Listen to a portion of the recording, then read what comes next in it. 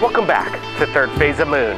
This week via Skype from Steve Johnson, all the way from Las Vegas, Nevada, sent me this amazing footage of what looks to be a UFO over the skies.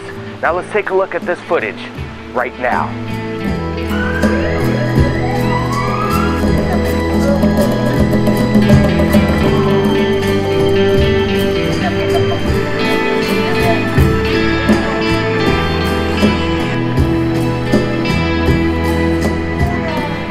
Now let's slow things down and get a closer look as we zoom it up 200%.